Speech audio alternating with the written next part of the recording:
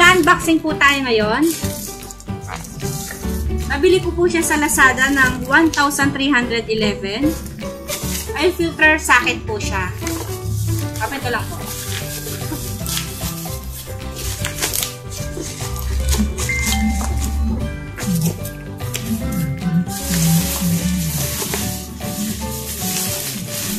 Medyo mabigat po siya.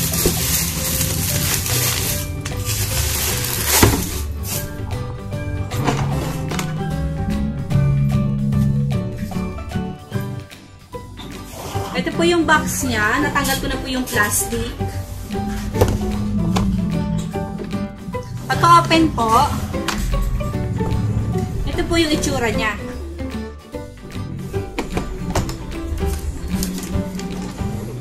Yan, ito po yung itsura niya. Mas makikita niyo sa loob, meron siyang papel. Nakalagay dito, merong pang Toyota, pang Nissan, Daihatsu, Mercedes, BMW, Opel, Audi, Ford, Isuzu, uh, ano ba to? Chrysler, Lexus, Rover, Nissan, Ford, at Honda, Mazda, and Freeka. At JMC.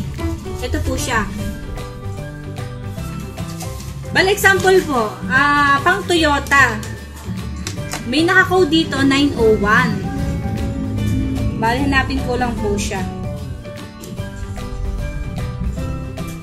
901. Ito po siya. Ito po yung pang Toyota. 901. Makikita niyo po siya dito sa papel. 901. Tapos may kasama na rin po siyang tools na pwedeng ilagay dito.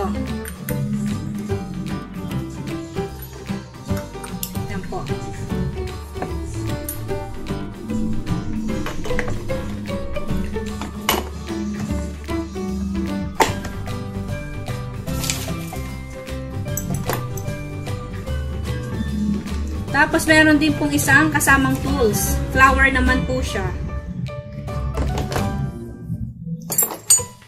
Bale, ito po siya. Ito po yung mga socket. Bale, ito po. Ganito po siya kadami. Example naman po natin ngayon ay pang Mercedes. Ang Mercedes po ay 903. Sa 903 po, po siya. May nakalagay din pong 903. Iba't iba po siyang code. May 9, 9010, 914, at merong ding 9031.